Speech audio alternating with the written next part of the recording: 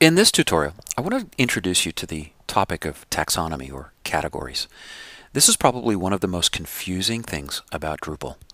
Now Drupal 7 has done a great job in integrating taxonomy or categories into the overall structure of how you set up your website. But for beginner Drupalers, it's still one of the most complex and confusing parts about setting up a Drupal site. Now this course really isn't able to go into depth into taxonomy but let me give you a basic overview that will help you get a foundation and give you a good solid footing for some further study. All right, so first of all, taxonomy, what is it? It's a way of categorizing your content on your Drupal site. We label the content with the categories, and so people can quickly look at a category listing and see all of the content with those keywords attached, i.e. the categories. Let's talk about this in our accommodations content type. Now, one of the confusing things is I can arrange my content in content type, I can arrange it with taxonomy, or I can do both. And this is something that you're going to have to work through and probably read a little bit more about and plan as you plan your Drupal site. A really good resource here would be Visual Quick Start Guide's Drupal 7 by Tom Geller. I'd recommend that you pick it up. It would be a good supplement to this course.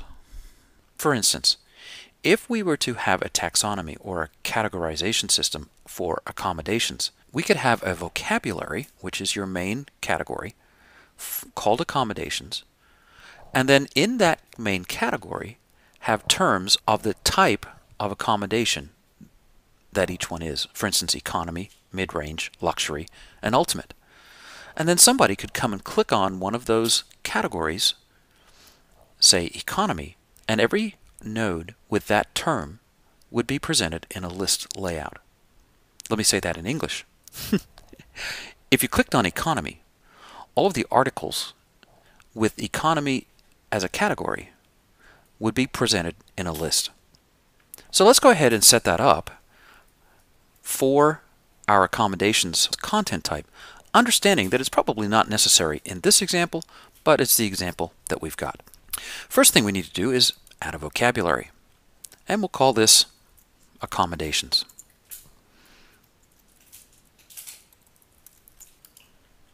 When we list the terms, these are the terms that are in our accommodations category. And now we can add our terms that I had suggested earlier. Economy.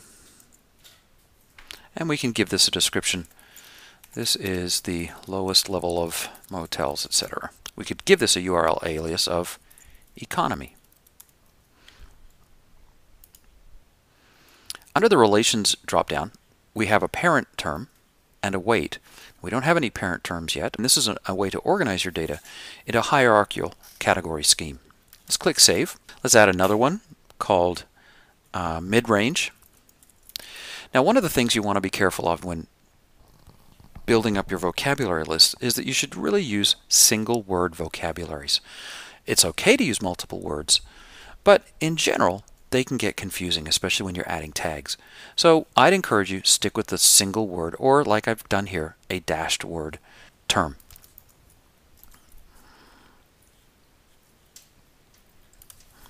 And we could give it a URL alias and then uh, luxury.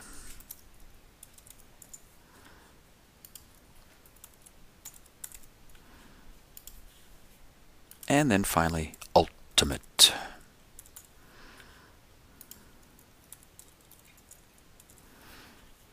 All right, let's go back out and see our accommodation category. And we can see that we have four terms under our category. Now you'll see that Drupal automatically orders them alphabetically. Well, that's really doesn't make sense in this case because mid-range should come before luxury. So I can click, drag, and then save. So my taxonomy now is ready for my accommodations content, but there's one more step. The content type for accommodations doesn't allow for taxonomy. So let's go back over to our content types,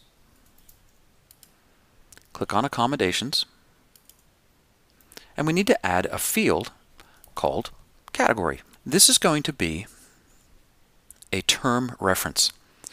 And a term reference is exactly what it sounds like. It references a term that we've set up. There are three ways to select a vocabulary term. A select list, which is a drop-down list, checkboxes and radio buttons, or autocomplete, which is where you just type in the word and it autocompletes for you. The only problem with this is that someone with enough access can actually type in a new term, which is not what we want here. So I'm going to suggest for something like this, where you only need one term for a node to appropriately categorize it, that you use checkboxes or radio buttons or select list. We'll use checkboxes. It just makes it simpler that way. Click Save. It's going to ask us which vocabulary we want to apply. And of course, we only have one, so we'll stick with accommodations. And as usual, it's going to ask us to set this up. The default category, economy, mid-range, luxury, and ultimate. How many values can we have? One. Uh, and that way it shows up as radio buttons and not checkboxes. And again, the vocabulary is in accommodations. So we have our new field. Let's go over to our content. If we go to Rod's Restful Roost and edit it, you'll now see at the bottom we have the ability to select which category it belongs in. Well, Rod's Roost is definitely low scale, so we'll click Economy and click Save. Now you'll notice when you view the article, the category is Economy. If I click on the word Economy, all of the accommodations at the economy level will show up as a list with just a brief amount of intro text, and I can then go in and view the entire content.